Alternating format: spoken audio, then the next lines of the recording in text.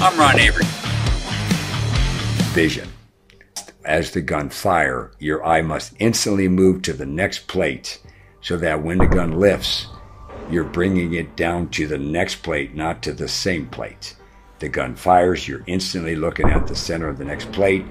It's like a invisible bungee cord. Your eye will pull your gun to where you're looking. As you move your eye, your gun will be halfway there. You simply watch it in your peripheral vision, never losing track of it, so that you can see it coming in.